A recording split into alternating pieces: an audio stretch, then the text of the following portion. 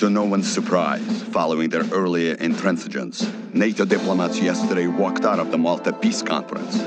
Clearly, peace is not on their agenda, only threats and deception and endless profits for the capitalist war machine. But our brave comrades in the armed forces will not be intimidated. They stand vigilant along the German border, their resolve unquenchable, ready to deliver. It was inevitable. Our massive preparations had gone on far too long for us to simply stand down. We were like a coiled spring, ready to throw ourselves into the fray.